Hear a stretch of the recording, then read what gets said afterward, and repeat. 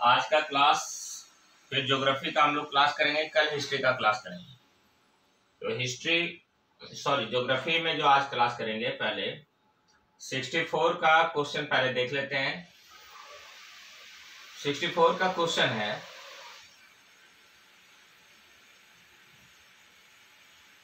कौन मेघालय पठार का हिस्सा नहीं है? मेघालय का पठार भारत में पूर्वोत्तर के राज्य में।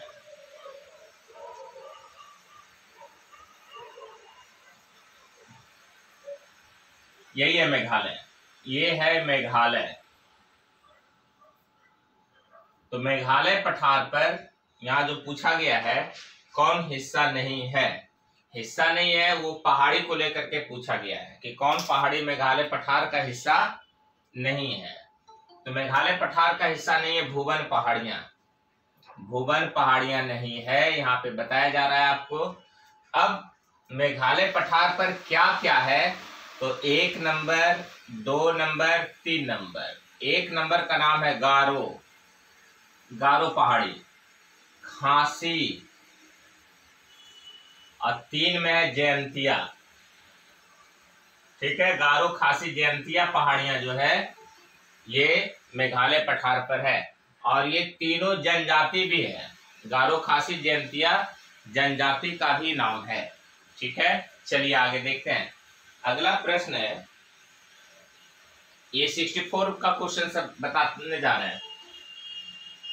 भुवन पहाड़ियाँ मिजो हिल का भाग है। अब मिजो हिल कहाँ है? कल चर्चा हुआ था मिजो हिल मिजोरम में।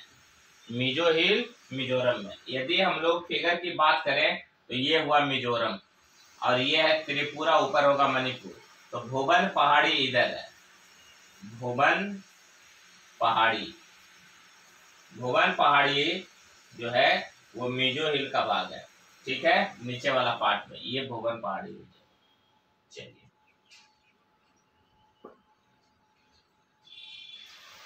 आगे देखते हैं।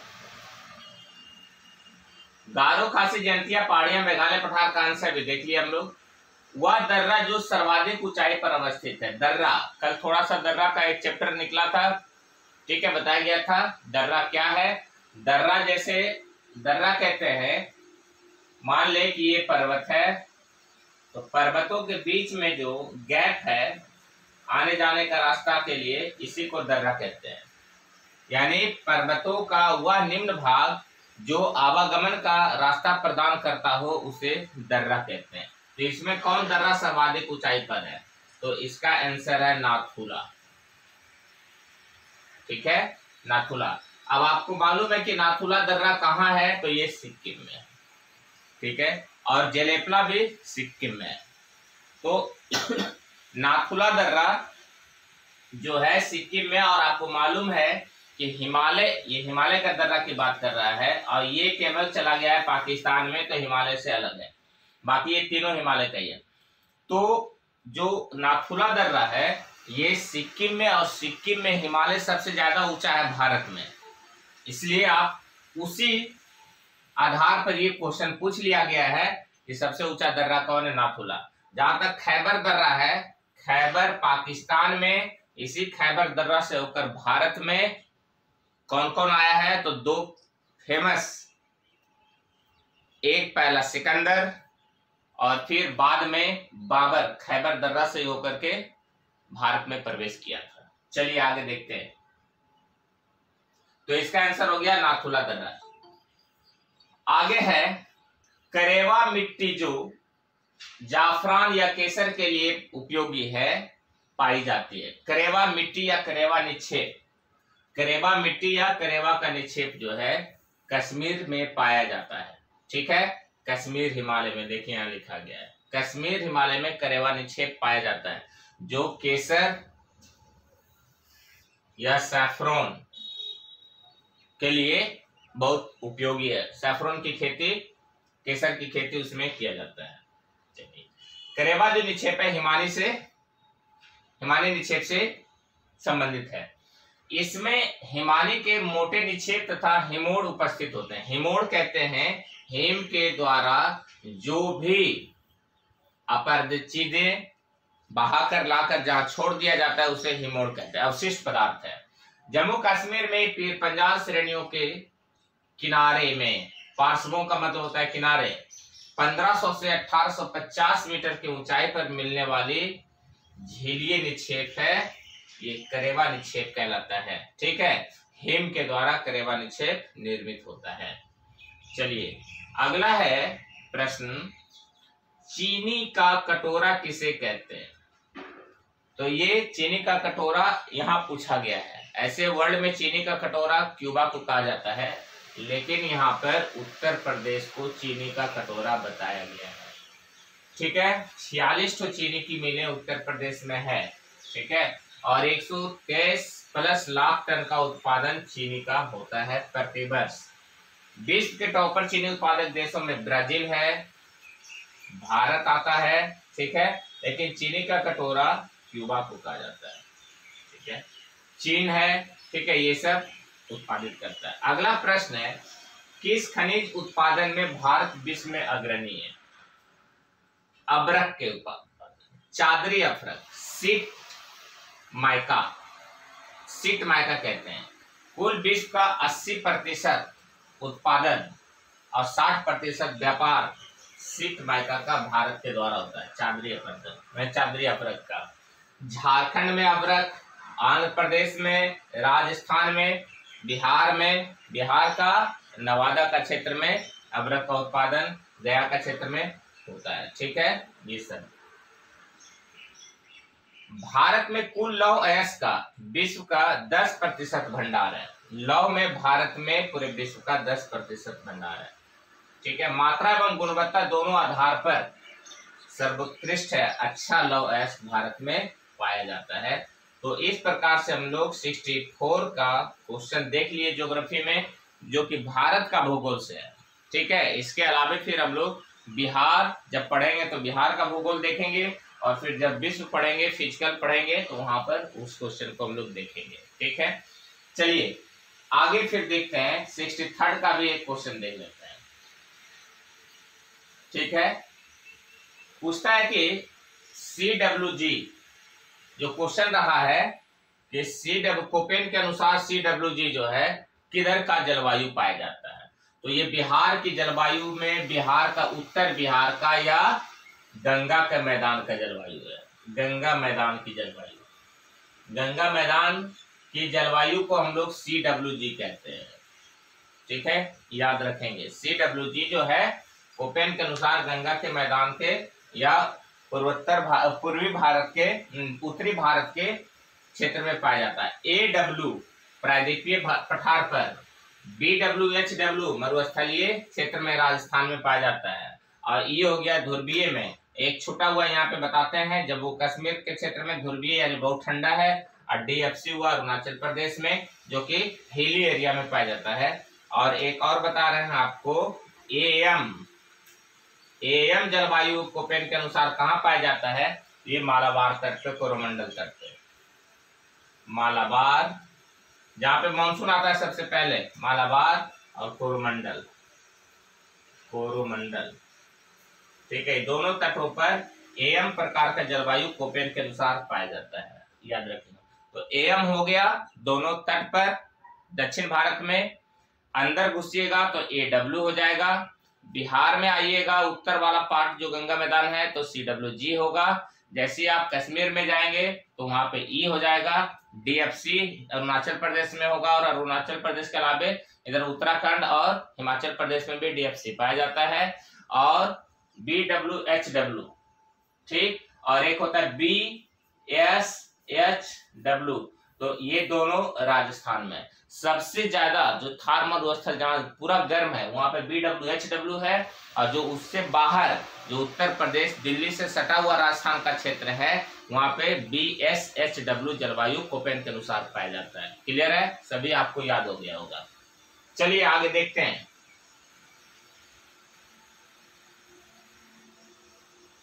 कहते हैं, कैमूर का पठार प्रसिद्ध है।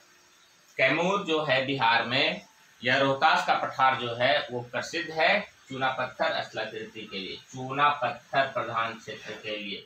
इधर ही एक है गुप्त धाम गुप्त धाम, है ना? ये गुप्त धाम एक दर्शनीय स्थल है यहाँ पे गुफा में लोग जाते हैं, इन क्षेत्र में चुना प्रधान स्थलाकृति है गुप्त धाम क्षेत्र में।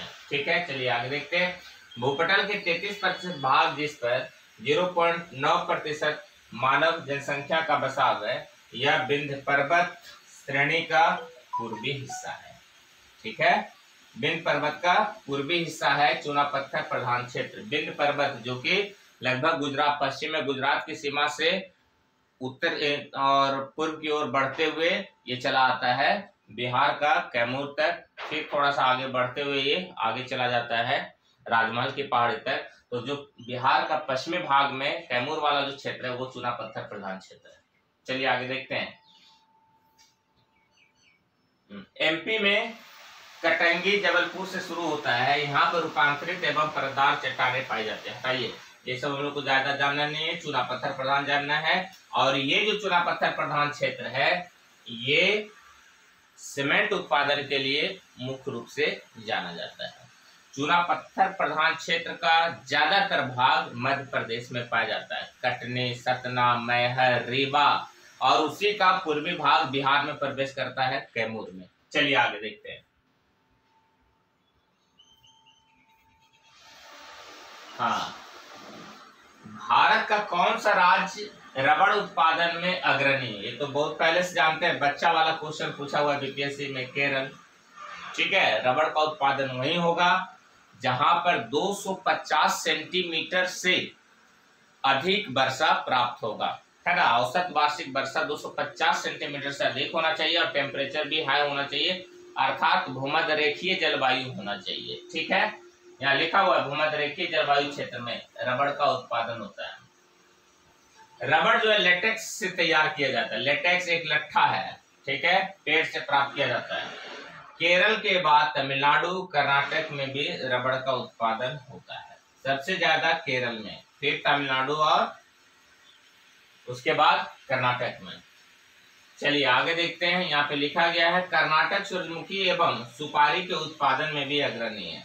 सूरजमुखी जिससे तेल प्राप्त होता है और सुपारी समझ रहे हैं, जो कि पान वगैरह में खाया जाता है, गुटखा में वही सुपारी भी उत्पादित होता है। सर्वाधिक वन क्षेत्र है सर्वाधिक वन क्षेत्र देखिए पूछा गया है। आंसर अरुणाचल प्रदेश लिया है। इसलिए लिया है क्योंकि यहाँ पर एमपी नहीं है देखिए लिख दिया गया है। नहीं तो एमपी होगा सर्वाधिक वन क्षेत्र। पिछले दिन भी दिन भी क्वेश्चन आ चुका है। 66 में भी हम लोग देख रहे थे। सर्वाधिक वन क्षेत्र और सर्वाधिक वन प्रतिशत वाली बात है तो। लेकिन यहाँ पे एमपी सर्वाधिक वन क्षेत्र के रूप में ऑप्शन नहीं है तो उसके अनुसार से अरुणाचल प्रदेश हो जाएगा। ठीक है? बाकी आप क्वेश्चन देखिएगा। क्वेश्चन हम यहाँ पे एक बार करवा दे रहे हैं कुछ कुछ। क्वेश्चन का सही से पैटर्न आपको जो 66 का बताया 65 का बताया 64 का बताया या 63 का बता रहे हैं, ये सभी फिर अपने क्वेश्चन बैंक में घर में देखिएगा तो पूर्ण रूप से क्वेश्चन आपको देखने को मिलेगा। ठीक है? और व्याख्या वहाँ भी होगा आपके पास, लेकिन यहाँ जो व्याख्या किया हुआ फिर जो हम एक्स्ट्रा बता रहे हैं, ज़्यादा आप समझ पा रहे होंगे। ठीक है? चलिए आगे देखते हैं। इसलिए सबों को क्वेश्चन बैंक, आज एक तारीख है, आज के बाद से कोई इग्नोरेंस नहीं होना चाहिए पढ़ाई में। आज एक तारीख है, आज से लगातार अगले इकतीस जुलाई तक पढ़ाई कीजिए और उसके बाद देखिए कि कितना फ़र्क आता है। अपना एक रूटीन मेंटेन कीजिए नो टाइम लैप्स है ना? अपना टाइम को लैप्स नहीं कीजिए। एक महीना तक कंटिन्यू पढ़िए सिक्सटी सेवन एनी हाउ आप सिलेक्ट हो जाइएगा। ठीक है? नहीं तो आज एक तारीख को जहाँ छोड़िएगा तो फिर कल दो तारीख भी छूटते चला जाएगा, फिर ये महीना गर्त में चला जाएगा। लगातार पढ़िए। ठीक है? आज का पहला दिन है ये महीने का। रूटीन अच्छा से बना करके स्टार्ट कर दीजिए पढ़ाई। और एक महीना पढ़ करके देखिए, पूरा फ़र्क नज़र आएगा। चलिए आगे। ऐसे वन क्षेत्र का देखिए, यहाँ पे दिखाया गया है। पिछले दिन भी ये क्वेश्चन रिपीटेशन हुआ है। सिक्सटी थर्ड का क्वेश्चन सिक्सटी सिक्स में आ गया है। देखिए, देश में कुल वन क्षेत्र है, चौबीस दशमलव चार। एमपी में सबसे ज़्यादा, उसके बाद अरुणाचल प्रदेश, छत्तीसगढ़, उड़ीसा। ठीक है, इस तरह से यहाँ पर दिखाया गया है वन क्षेत्र। चलिए, अगला प्रश्न है। कौन मिट्टियाँ नदियों द्वारा निर्मित होती है? कितना आसान है। जल के द्वारा मिट्टी जो बनता है, नदी का मतलब जल, है ना? तो जल के द्वारा बनने वाली मिट्टी को कहते हैं जलोढ़ मिट्टी। इंग्लिश में कहते हैं alluvial A double L U V I A L alluvial soil जैसे हम लोग कह सकते हैं, देखिए, ये गंगा नदी है और ये यमुना है। तो गंगा यमुना का ये द्वाब क्षेत्र है। किस मिट्टी के लिए जाना जाता है? जलोढ़ के लिए। जलोढ़ मिट्टी। गंगा का ये खादर, बांगर, तराई, है ना? किस मिट्टी के लिए जाना जाता है? ये हुआ खादर बांगर, तराई। ठीक है, ये सभी मिट्टी है। ओवरऑल ये कौन सा मिट्टी है? जलोढ़ मिट्टी है। जलोढ़ मिट्टी का ये वर्गीकरण किया गया है। सबसे ज़्यादा उपजाऊ जलोढ़ मिट्टी कौन होता है? तो आंसर होगा खादर। उसके बाद बांगर और उसके बाद तराई। तो सबसे कम इन तीनों में कौन है? तो तराई जलोढ़ मिट्टी की उर्वरता कम होती है। ठीक है तो इस तरह से आप जानते हैं। चलिए आगे। खादर जो है नई जलोड़ कहलाते हैं। खादर को क्या कहते हैं? नई जलोड़ खादर को नई जलोड़ भी कहते हैं। न्यू एलुवियल नई जलोड़ कहा जाता है खादर ठीक है, प्रतिवर्ष बाढ़ के जल से ये प्रभावित होता है या आच्छादित होता है। चलिए। आगे इसमें देखते हैं। कहता है, हल्की भूरी रंग दोमट प्रकार होती है। ये जो जलोड़ मिट्टी है, भूरी रंग की होती है और दोमट होती है। दोमट का मतलब जल के द्वारा जो बहा करके लाया जाता है तो उसमें कोई एक ही प्रकार की मिट्टी नहीं पाया जाता। उसमें विभिन्न प्रकार के मिट्टी के निक्षेप पाए जाते हैं। इसीलिए दोमट प्रकार की मिट्टी होती है यह उच्च भूमि में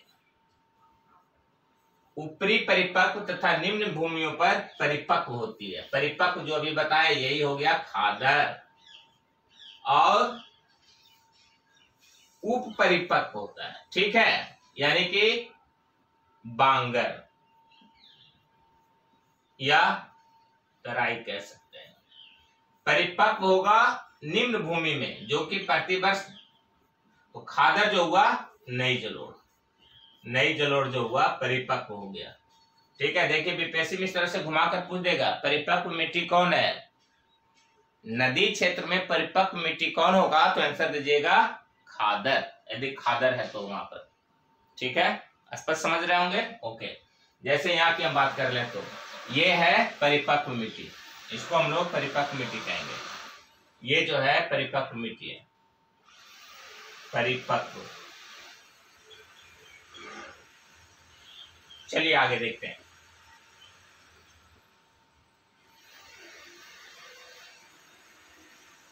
अगला प्रश्न है चलिए थोड़ा सा और भी डिस्क्रिप्शन दिया हुआ जलोड़ विशाल मैदान, नर्मदा, ताप्ती, महानदी, कृष्णा, कावेरी, केरल इत्यादि में पंद्रह लाख वर्ग किलोमीटर क्षेत्र पर फैला हुआ है। अब देखिए, यहाँ पे नहीं लिखा गया है, और भी लिखा जाएगा, गंगा, यमुना, कोसी, गंडक है ना? ये सभी नदी के द्वारा जलोढ़ मिट्टी का निर्माण होता है। चलिए, जलोढ़ मिट्टियों में पोटास व चूना पत्थर मिलता है। ठीक है? पोटास। लेकिन इसमें फास्फोरस, नाइट्रोजन, जीवाश्म, ठीक है, नहीं पाया जाता या अभाव होता है। ठीक है? क्या पाया जाता है? तो चूना पत्थर और पोटास। नहीं पाया जाता, फास्फोरस है, नाइट्रोजन है और जीवाश्म। तो जिसमें नाइट्रोजन कम है, या भारत की सभी मिट्टी में नाइट्रोजन कम है, उसमें यूरिया का उपयोग किया जाता है। ठीक है? आप देखते होंगे गाँव सब में छोटा छोटा दाना यूरिया का बोरा का उपयोग होता है किसानों के द्वारा, जिसको हम लोग बोरा पे देखते हैं छियालीस परसेंट लिखा हुआ रहेगा नाइट्रोजन। यूरिया का बोरा पे छियालीस परसेंट नाइट्रोजन रहता लिखा हुआ। चलिए आगे देखते हैं।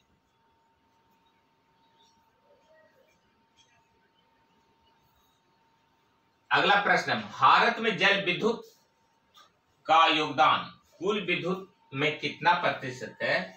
रट लेना है बाईस प्रतिशत। सबसे ज़्यादा क्या चीज़ का है? तो वो है तापीय विद्युत का। लगभग पैंसठ प्रतिशत से अधिक है। ठीक है? तापीय देखिए यहाँ पे लिखा गया, सत्तर प्रतिशत। पैंसठ प्रतिशत से अधिक रहेगा हमेशा तापीय का। ठीक है? और बाईस प्रतिशत जल का। जल का। चलिए आगे देखते हैं। अगला है, तमिलनाडु में सर्वाधिक सूती वस्त्र का कारखाना है। ठीक है? तमिलनाडु में सूती वस्त्र का सबसे ज़्यादा कारखाना है।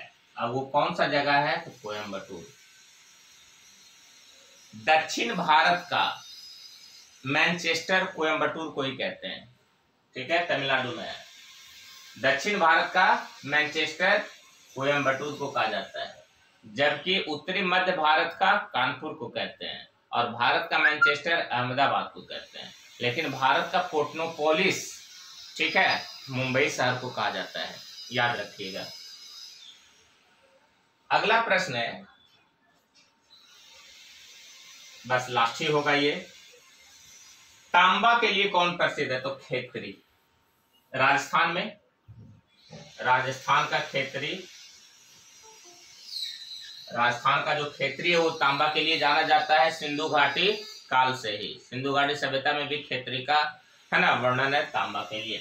तांबा उत्पादन के लिए झुंझुन जिला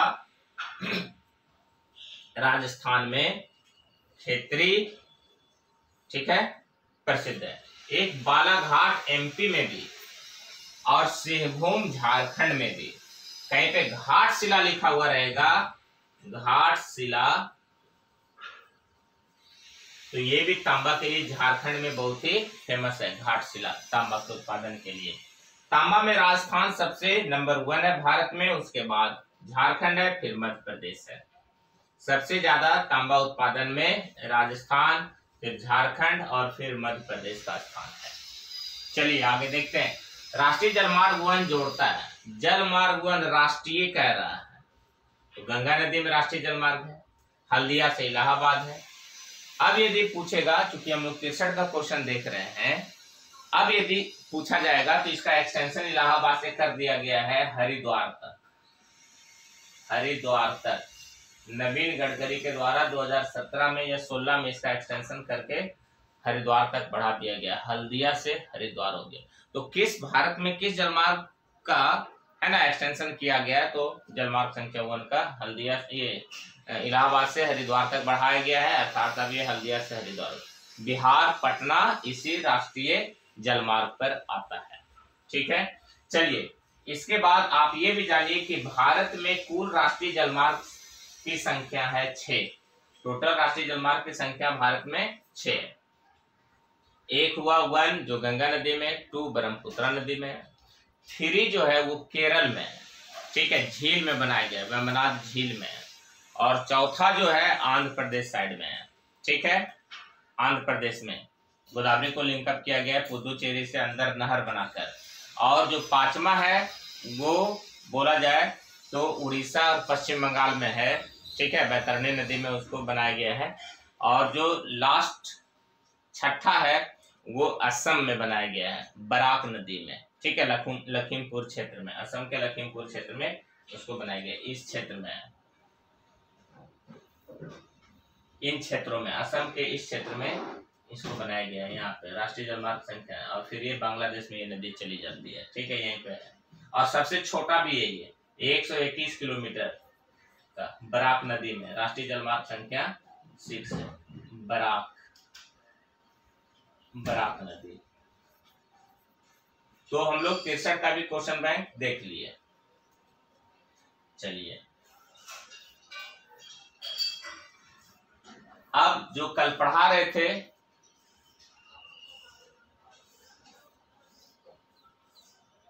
अब हम लोग चैप्टर शुरू करेंगे। तो कल हम लोग कुछ देखे थे,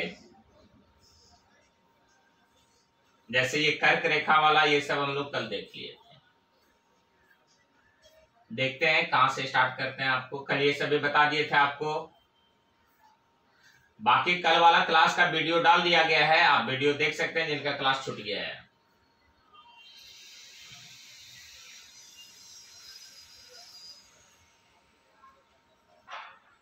सीमावर्ती देश, कल इस पे भी चर्चा हम लोग कर चुके हैं। अब हम लोग जो पढ़ेंगे फ़िज़िकल ज्योग्राफी ऑफ़ इंडिया का physiography division of India Bharat का भौतिक विभाजन हम लोग अब पढ़ेंगे।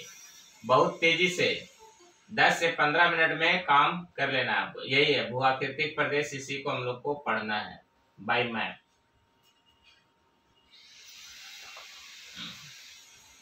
ये आप देख रहे हैं, कल ये बताया गया था, उत्तरी पर्वतीय क्षेत्र, उत्तरी विशाल मैदान मरुस्थलीय क्षेत्र, मध्यवर्ती उच्च भूमि, पठारी क्षेत्र, तटीय मैदान द्वीप समूह ये सब कल हम लोग देख चुके हैं। देखिए, यहाँ पे एक बार विवरण भी किया हुआ है, लिखा हुआ है।